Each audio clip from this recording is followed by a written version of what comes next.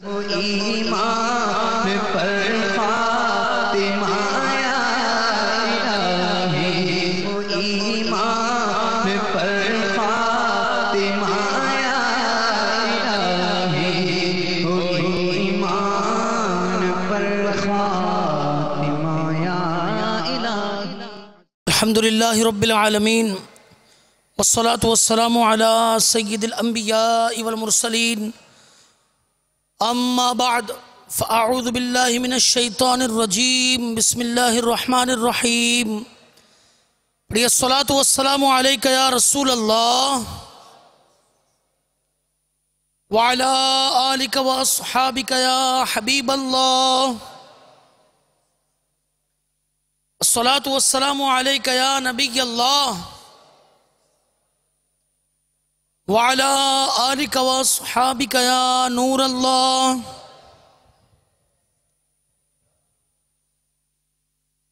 दावत इस्लामी के शाती इदारे मकतबतुल मदीना की मतबूआ किताब फैज़ान महराज जो कि अलमदीनतुल इल्मिया ने मुरतब की उसकी इब्तदा दुरूद पाक की इस फजीलत से की गई है कि सरकार नामदार मदीने के ताजदार दो आलम के मालिक मुख्तार। सल्लल्लाहु अलैहि वसल्लम का फरमान आली शान है। जुमा के दिन मुझ पर कसरत से दुरूद भेजो, क्योंकि ये हाजिरी का दिन है। इसमें फरिश्ते हाजिर होते हैं। जो कोई भी मुझ पर दुरूद भेजता है, उसका दुरूद मुझ पर पेश किया जाता है। जब तक कि वो दुरूद पढ़ता रहता है हज़रत अबू दरदा रदी अल्लाह ने अर्ज़ किया कि क्या विसाल शरीफ के बाद भी, यानी जब आप इस दुनिया से पर्दा फरमा जाएँगे, इसके बाद भी ये मामला होगा? इरशाद फरमाया कि हाँ विसाल के बाद भी बेशक अल्लाह ताला ने ज़मीन पर अम्बिया किराम अलैहिस्सलात वस्सलाम के जिस्मों को खाना हराम फरमा दिया है। लिहाजा अल्लाह के नबी ज़िंदा हैं, उन्हें रिस्क दिया जाता है। सल्लु अलल हबीब सल्लल्लाहु ताला अला मोहम्मद वाला आलिहि वसहबिही वबारक वसल्लम सलातम वसलाम अलैका या सय्यदी या रसूल अल्लाह सल्लल्लाहु अलैहि वसल्लम मिठे मिठे इस्लामी भाइयों, अहले इस्लाम का यह अकीदा है कि तमाम अम्बिया किराम अलैहिस्सलात वस्सलाम अपनी अपनी कब्रों में उसी तरह बहयात हकीकी ज़िंदा हैं जैसे दुनिया के अंदर थे। आपने अभी जो रिवायत सुनी उससे भी यही बात ज़ाहिर होती है। सुबहान अल्लाह अज्जवजल जब तमाम अम्बिया किराम वस्सलाम की ये शान है तो सब नबियों के सरदार, महबूब परवरदिगार, हजूर अहमद मुशतबा, मोहम्मद मुस्तफ़ा अलैहि वसल्लम की शान अजमत का क्या आलम होगा? यकीनन, आप अलैहि वसल्लम आज भी हयात हैं और अपने गुलामों की दस्तगीरी और मुश्किल कुशाई फरमाते हैं। मगर हमारी कम बीन, यानी कमज़ोर निगाहें, ये आप सल्लल्लाहु अलैहि वसल्लम को देखने से कासिर हैं। मेरे आका सैयद आला हज़रत, इमाम अहल सुन्नत, अजीमुल बरतबत, अजीमुल बरकत, परवान शम रसालत मुजद दीन मिलत मौलाना शाह इमाम अहमद रज़ा ख़ान अली रहमत रहमान अपने एक शेर के अंदर किस तरह हयात नबी सल्लल्लाहु अलैहि वसल्लम को बयान फरमाते हैं। चुनाच आप इरशाद फरमाते हैं कि तू ज़िंदा है वल्ला तू ज़िंदा है। तू ज़िंदा है वल्ला तू ज़िंदा है वल्ला मेरे चश्मे आलम से छुप जाने वाले। सल्लु अलल हबीब सल्लल्लाहु ताला अला मोहम्मद वाला अलैहि वसहबिही वबारक वसल्लम। सलातो व सलाम अलैका या सय्यदी या रसूल अल्लाह वाला अलिका सहाबिका या हबीब अल्लाह सिलसिला हमारा ये ईमान की शाखें हैं। और हमारे एतकादात के साथ एक बड़ा ही मज़बूत और मरबूत मामला ये महराज का है। आइए मैं आपको चंद बातें, जो हमारी नई मतबूआ किताब फैज़ान महराज है, इससे मैं आपके सामने पेश करता हूँ कि इस किताब को आप ज़रूर मकतबतुल मदीना से हासिल कीजिए। इसे आप पढ़िएगा, ज़्यादा सफ़ात भी नहीं है इसके, मुख्तसर सफ़ात हैं, जो अमूमन मुताला का शौक़ रखते हैं रीडिंग का शौक़ रखते हैं। वो इसे इन उनके लिए ये बहुत फ़ायदेमंद किताब होगी और हर मुसलमान के लिए बिलूम ये किताब बहुत ज़्यादा फ़ायदेमंद है। इस किताब को आप ये हासिल कीजिएगा। लिहाजा मुआजा महराज और उस वक्त के ज़माने के क्या हालात थे? और फिर एक बड़ी मशहूर आयत जो पंद्रहवें पारे की पहली आयत है, उसके ऊपर चंद बातें आपको अर्ज़ करता हूँ। तो मीठे मीठे इस्लामी भाइयों और मदनी चैनल के नाजरीन, जब से प्यारे आका मीठे मीठे मुस्तफ़ा सल्लल्लाहु अलैहि वसल्लम ने अपनी नबूवत और रिसालत का ऐलान फरमाया था और लोगों को खुदा वाहिद अज्जवजल की इबादत की तरफ़ बुलाना शुरू फरमाया था, तब से शिर को कुफर की फजाओं में परवान चढ़ने वाले लोग आप सल्लल्लाहु अलैहि वसल्लम की जान के दुश्मन हो गए थे। हालाँकि आप सल्लल्लाहु अलैहि वसल्लम की मुबारक हयात के हर हर बाप का, हर हर वर्क उनके सामने था, जो शबनम से ज़्यादा पाकिजा, फूल से ज़्यादा शगुफ्ता, आफ्ताब महताब से ज़्यादा रोशन और चमकदार और जाहिरी बातनी हर किस्म के ऐब बुराई से पाक था। इसके बावजूद वो बदबख्त आप सल्लल्लाहु अलैहि वसल्लम को जुटलाने लगे। नबूवत की रोशन निशानियाँ देखकर जब लाजवाब हो जाते और कुछ बन नहीं पड़ता तो माजल्ला सरकार अलैहि वसल्लम के इन मौजात को सहर, ये जादूगरी करार दे देते थे। जालिमों ने आप सल्लल्लाहु अलैहि वसल्लम की राह में कांटे बिछाए, जिसमें नाजरीन पर पत्थर बरसाए, तकालीफ व मसाइब के पहाड़ तोड़ डाले और तानो तशनी का बाज़ार खूब गर्म कर दिया। इन तमाम मजालिम में उस वक्त और इजाफा हो गया।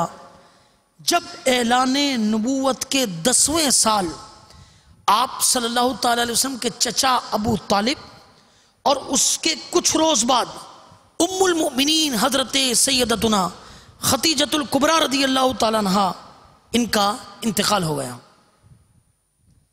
रहमत आलम नूर मुजस्सम शाहिबानी आदम रसूल मोहतशम, सरापा जुदो करम शहनशाह उमम सल्लल्लाहु अलैहि वसल्लम ने इन तमाम रुकावटों के बावजूद दावत इस्लाम को मौकूफ, यानी तर्क ना फरमाया और लोगों को कुफ्र शिरक से रोकते रहे।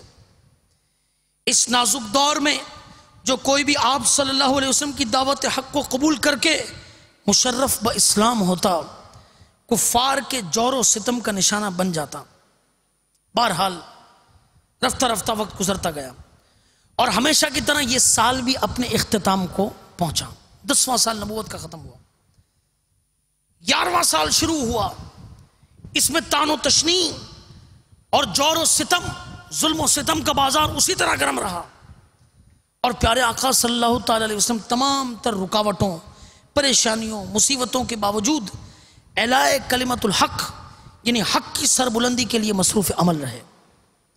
करते करते जब रजबुल मुजरजब का महीना आया और जब उसकी सत्ताईसवीं शब ये तशरीफ़ लाई तो इस मुबारक रात में अल्लाह वजल अपने महबूब सल्लल्लाहु अलैहि वसल्लम को वो शरफ अता फरमाता है जो इससे पहले किसी को भी हासिल नहीं हुआ।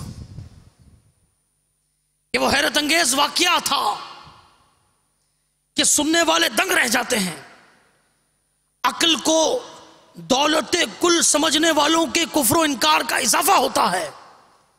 जबकि कामिल ईमान खुश नसीबों का ईमान और बढ़ जाता है। मिठे मिठे इस्लामी भाइयों और मदरी चैनल के नादरीन इस अजीम वाक्य को वाक़ महराज कहा जाता है। कुरान मजीद, फुरकान हमीद। मैं अल्लाह तबारक व ताला इसका मुख्तसर ज़िक्र करते हुए कुछ यूँ इर्शाद फरमाता है। चुनाचे पारा नंबर पंद्रह। सूर्य बनी इसराइल की पहली आयत। मेरा खान अजीमुल अजीमरतबत अजीमबरकत परवान शम रसालत मुजद दीन मिलत मौलाना शाह इमाम अहमद रज़ा ख़ान अली रहमत रहमान अपने शौर आफाक तर्जमा कुरान कंजुल ईमान में इस आयत का तर्जमा कुछ इस तरह फरमाते हैं कि पाकी है उसे, पाकी है उसे, जो रातों रात अपने बंदे को ले गया।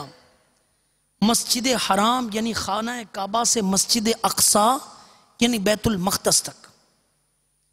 अल्लदी बारकना हाउलहू मिन आयातिना। फरमाए कि जिसके इर्द गिर्द हमने बरकत रखी, कि हम उसे अपनी अजीम निशानियाँ दिखाएँ। इन नहू हुआ समी बसीर। बेशक वो सुनता, देखता है। लिहाजा, इस आयत के तहत मुफसरीन ने बड़े ज़बरदस्त मदनी फूल अता फरमाए। चुनाचे मुफसरीन किराम रहीम फरमाते हैं कि जब सईद दो आलम सल्लल्लाहु अलैहि वसल्लम शब महराज दर्जात आलिया और मरातब रफ़िया, यानी बुलंद मरतबों पर फाइज हुए तो रब अज्जा वजल ने खिताब फरमाया कि ए मोहम्मद सल्लल्लाहु अलैहि वसल्लम ये फजीलत तो शरफ। जानते हो मैंने तुम्हें क्यों अता फरमाया? हुजूर अकदस सल्लल्लाहु वसल्लम ने अर्ज़ की, ए मेरे मौला, इसलिए कि तूने मुझे अबदियत के साथ अपनी तरफ़ मंसूब फरमाया है। इस आयत के अंदर क्या लफ्ज है? सुबहान लदी असरा बेअबदी हुजूर अकदस सल्लल्लाहु वसल्लम को अल्लाह ने अपना बंदा फरमाया। फ़र्ज़ की के मौला, कि तूने मुझे अबदियत के साथ मंसूब फरमाया। इसलिए तूने मुझे ये अजीम मरतबा अता फरमाया। तो अल्लाह तबारक व ताल ने इस पर यह आयत नाजिल फरमाई कि सुबहान लदी असरा भी अब्दी कि पाकी है उसे, जो अपने बंदे को रातों रात ले गया। इस आयत को अल्लाह तबारक व ताला ने किस लफ्ज से शुरू फरमाया? सुबहान से। और अल्लाह तबारक व ताला ने सुबहान लदी कहकर अपनी पाकी बयान फरमाई। ये कलिमा ताजुब के मौके पर बोला जाता है कि जब कोई ऐसा काम हो जाता है तो आदमी ताज्जुब के उस पर बोलता है कि सुबहान अल्लाह ऐसा हो गया। लिहाजा ताज्जुब के मौके पर बोला जाता है। कराम फरमाते हैं कि चूँकि वाक़ महराज ये बहुत ही हैरत अंगेज है और इंसानी अकल से बालातर है, इसीलिए फरमाए कि सुबहान यानी ये उसके इरादे से हुआ जो हर इज़्ज़त से पाक है। एक महराज जिस्मानी है, जो शब महराज को हुई और बकिया तमाम महराज रूहानी हैं। नेक बंदे, ये भी यू समझिए कि ख्वाब के अंदर जन्नत देख लेते हैं। बाज़ अवकात दोजख के मामला दिखा दिए जाते हैं। नेक लोग, जैसा कि सईद रहमान आज़म अबू हनीफा रदी अल्लाह तुम जिनकी हम तकलीद करते हैं, इन्होंने ख्वाब में अल्लाह ताला का सौ मरतबा दीदार किया है। सौ मरतबा दीदार मगर जागती आँखों के साथ। ये मुआजा सिर्फ़ एक हस्ती को होता हुआ है। और वो ज़ात कौन सी है? सैद दो आलम सल्लल्लाहु अलैहि वसल्लम की ज़ात है। लिहाजा, अगर ये महराज रूहानी होती तो यहाँ पर रूह का तस्करा किया जाता। मगर यहाँ पर अल्लाह तबारक व ताल ने अपनी सिफत बयान फरमाई कि सुबहान अल्लदी पाक है वो रब। लिहाजा, ये उसी की शान और कुदरत है। कि उसने एक रात के कलील हिस्से के अंदर अपने महबूब को जिसम और रूह दोनों के साथ बुला लिया। दोनों के साथ बुला लिया। और मेरा जदा फरमाई वो हर तरह कादिर है। रसूलुल्लाह सल्लल्लाहु अलैहि वसल्लम के जिसमें अथर का ऊपर की तरफ़ जाना, कुर्र आग और जमहरीर से सलामत गुजर जाना, आसमानों में दाखिल हो जाना, फिर जन्नत और दोजक की सैर फरमाना, फिर इस कदर जल्द वापस आ जाना अगरचे बहुत मुश्किल मालूम होता है। मगर रब कदीर अज्जा वजल के नज़दीक कुछ मुश्किल नहीं। लफ्ज जो इर्शाद फरमाया गया कि सुबहान। इसके मुतालिक मुफसर शहीद हकीम मुफ्ती अहमद यार खान अली रहमत हन्नान फरमाते हैं कि जो कोई इस इसमें इलाही का वजीफा करे, यानी या सुबहान या सुबहान या सुबहान पढ़े तो अल्लाह ताला उसे गुनाहों से पाक फरमा देगा। वजह आपने क्या बयान फरमाई? आपने फरमाया कि हर इसमें इलाही की तजल्ली ये आमिल पर पड़ती है, यानी उसके पढ़ने वाले पर पड़ती है। जैसे कि जो या गनीयों का वजीफा करता है, अल्लाह तबारक व ताला उसे गनी और मालदार फरमा देता है। लिहाजा, जो या सुबहान या सुबहान कहेगा तो चूँकि सुबहान के मानी है, पाकी है उसे तो अल्लाह ताला उस बंदे को गुनाहों से पाक फरमा देगा।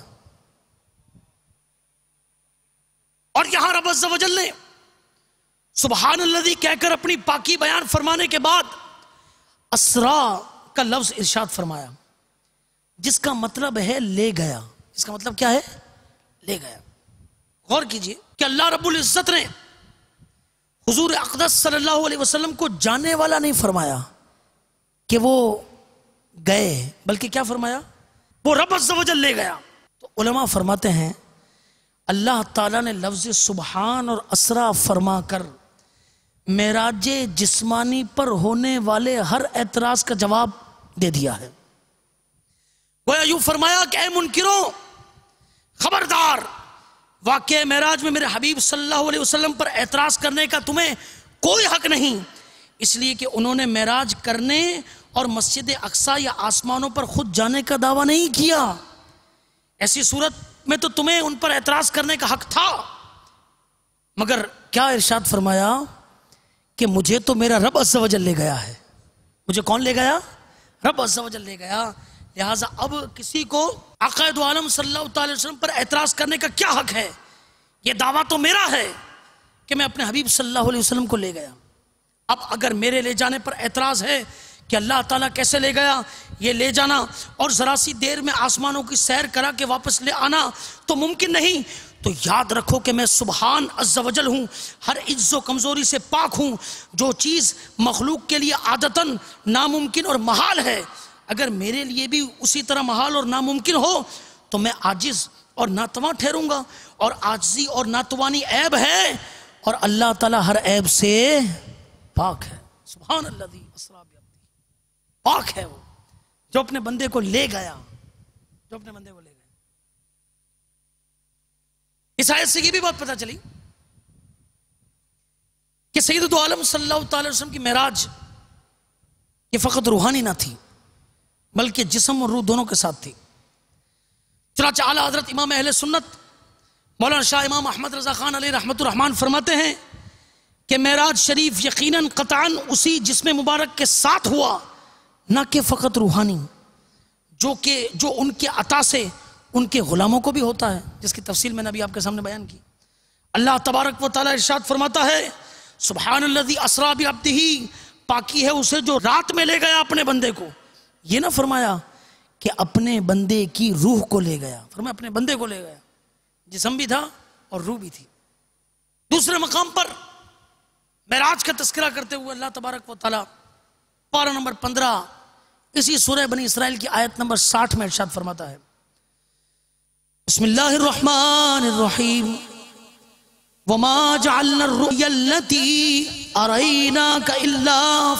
लिन्नास। तर्जुमा कंजुल ईमान। और हमने न किया वो दिखावा जो तुम्हें दिखाया था मगर लोगों की आजमाइश को। क्या पता चला? कि महराज शरीफ की सुबह जब प्यारे आका सल्लल्लाहु अलैहि वसल्लम ने इसके बारे में लोगों को बताया तो आप सल्लल्लाहु अलैहि वसल्लम पर ईमान लाने वाले बाज लोग मुर्तद हो गए। ये कैसे मुमकिन है? ये कैसे हो गया? इस आयत में उन लोगों को आजमाइश में डाले जाने का ज़िक्र है। इस आयत से यह भी पता चलता है कि महराज शरीफ ये सिर्फ़ रूह को ना हुई, बल्कि जिस्म और रूह दोनों को हुई। क्योंकि अगर हालत ख्वाब में सिर्फ़ रूह को महराज होती तो किसी को एतराज़ ना होता। किसी को भी एतराज़ ना होता। कुफार को एतराज़ था ही इस बात पर कि सरकार दो आलम सल्लल्लाहु अलैहि वसल्लम जिस्म के साथ महराज पर तशरीफ़ ले गए थे। तीसरा मकाम पार नंबर 27 सूर्य वन नजम। एक से लेकर अठारह तक की आयतें हैं। चुनाच अल्लाह तबारक व ताला पारा नंबर 27 सूर्य नजम की आयत नंबर एक तो अठारह में इरशाद फरमाता है। बिस्मिल्लाहिर्रहमानिर्रहीम।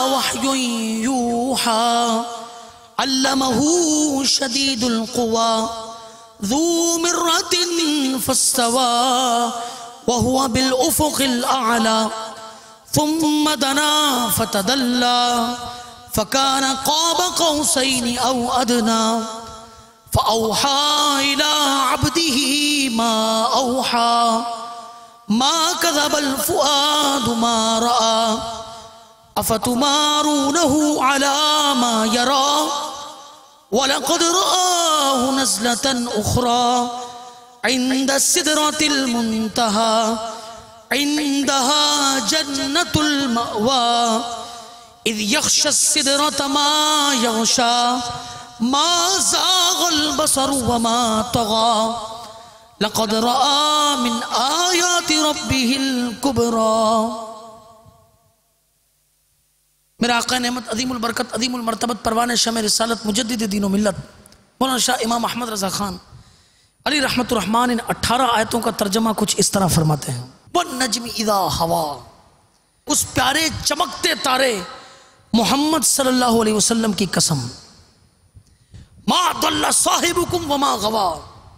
जब ये महराज से उतरे, तुम्हारे साहिब न बहके न बेराह चले। और वो कोई बात अपनी ख्वाहिश से नहीं करते, वो तो नहीं, मगर वही जो उन्हें की जाती है। उन्हें सिखाया, सख्त कुव्वतों वाले ने अल्लाह शदीदुल खुआ उन्हें सिखाया, सख्त कुव्वतों वालों ने। मिर्रतिन फस्तवा। फरमाया कि फिर उस जलवे ने कसद फरमाया। वो हुआ बिल उफुकिल आला। और वो आसमान बरी के सबसे बुलंद किनारे पर था। फिर वो जलवा फुम दना फतदल्ला। फिर वो जलवा नज़दीक हुआ। फ़कान काबा कौसैनी अवदना फिर खूब उतर आया। तो फरमाया कि उस जलवे और उस महबूब में दो हाथ का फासला रहा। बल्कि उससे भी कम। फरमाया फ़ाओहा इला अब्दी ही मा ओहा अब वही फरमाई अपने बंदे को जो वही, वो जो वही फरमाई। माँ कदबल फुआद उमार आ फरमाए दिल ने झूठ ना कहा, जो देखा। अफ तुम्हारू न अलामा यारा। क्या तुम उनसे उनके देखे हुए पर झगड़ते हो? वलकद राव नजलतन उखरा। उन्होंने तो वो जलवा दो मरतबा देखा। दो मरतबा देखा। इन सिदरतिल मुंतहा। किसके पास? सिदरतुल मुंतहा के पास। इंदहा जन्नतुल मावा। उसके पास जन्नतुल मावा है। इद यक्ष सिदरत मा यक्षा जब सिदरा पर छा रहा था, जो छा रहा था, माँ जागल बसरु वमा तगा। आँख न किसी तरफ़ फिरी, न हद से बड़ी। लकदर आमिन आयात रबिल कुबरा। बेशक अपने रब की बहुत बड़ी निशानियाँ देखी।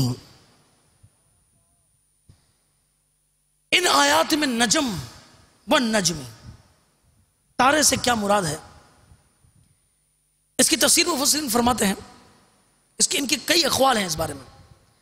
बाज ने सितारे मुराद लिए, बाज ने सितारों की ख़ास किस्म सुरैया इससे मुराद ली। बाज ने कुरान मुराद लिया राजे कौल यही है कि इससे हादी बरहक हज़रत मोहम्मद वसल्लम मुराद है। चुनाच इन आयात में आसमानी सैर का भी तस्करा है।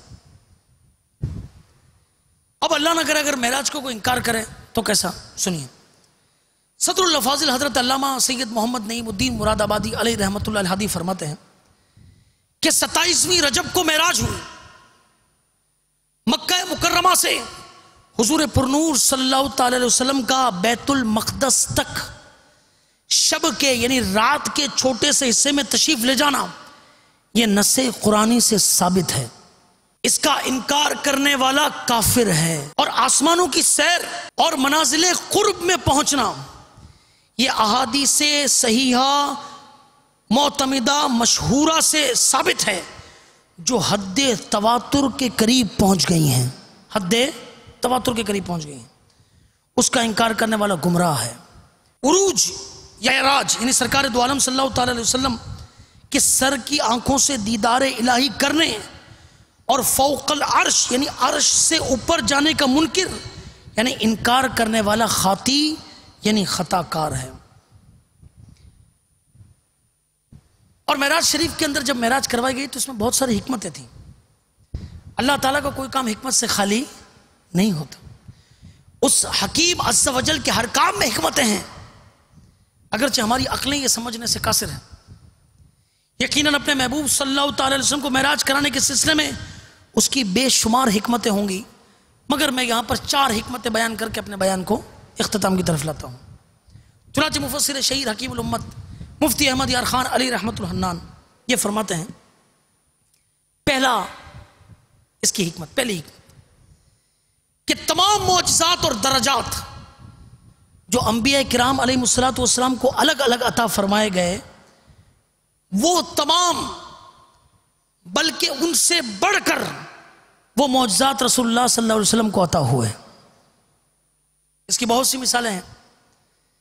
हज़रत मूसा सलाम को यह दर्जा मिला कि वो कोहे तूर पर जाकर रब अज्जवजल से कलाम करते थे। हज़रत ईसा सलाम चौथे आसमान पर बुलाए गए।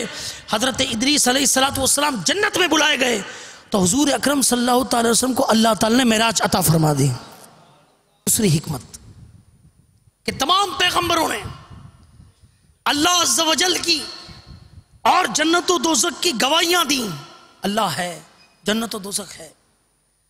और अपनी अपनी उम्मतों से पढ़वाया कि अशद अल्लाह मगर उन हजरात में से किसी की गवाही देखी हुई नहीं थी।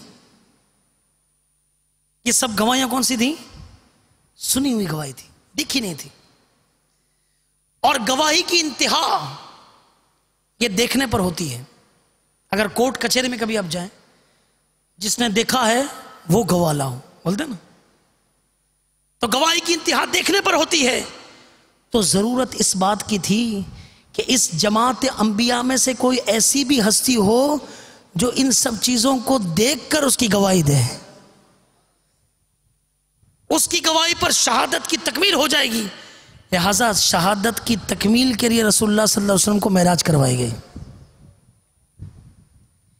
तीसरी हिकमत।